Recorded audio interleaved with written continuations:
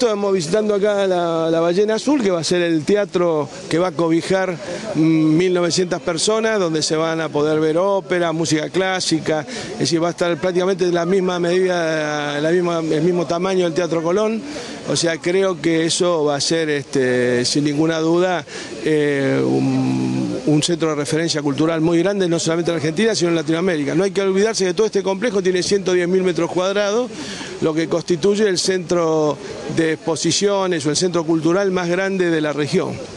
Entonces es muy importante tener en cuenta eh, eso. Y por supuesto eh, la recuperación de un edificio histórico como este, los espacios que va a haber exclusivos para la cultura eh, federal, o sea, para el país federal, en fin, cosas que son muy importantes y realmente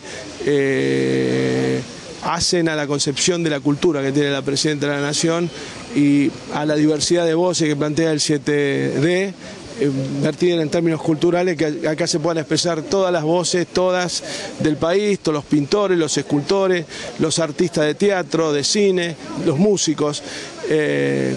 es un espacio que hoy no existe está muy fragmentado. Acá van a poder juntarse todos, van a tener espacio suficiente para reunirse, para conversar entre ellos, no solamente para actuar. Esa es la idea de la presidenta. Es una obra que el Estado de Loga más o menos unos 40 millones de pesos por, por mes y estimamos que a partir del 9 de julio del año que viene va a haber una suerte de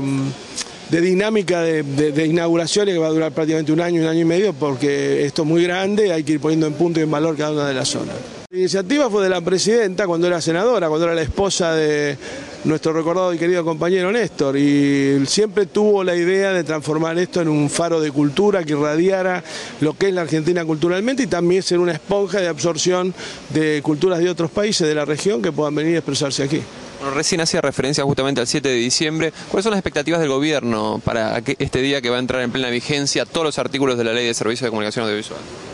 Justamente que se abra, que se oxigene, que se puedan expresar y tengan espacio, y infraestructura y el lugar necesario para expresarse todo. Esto no es para clausurar ninguna voz, sino para que haya más voces y por supuesto para desmonopolizar una actividad que es la más crítica para que se monopolice porque es la que maneja de alguna manera la opinión del público.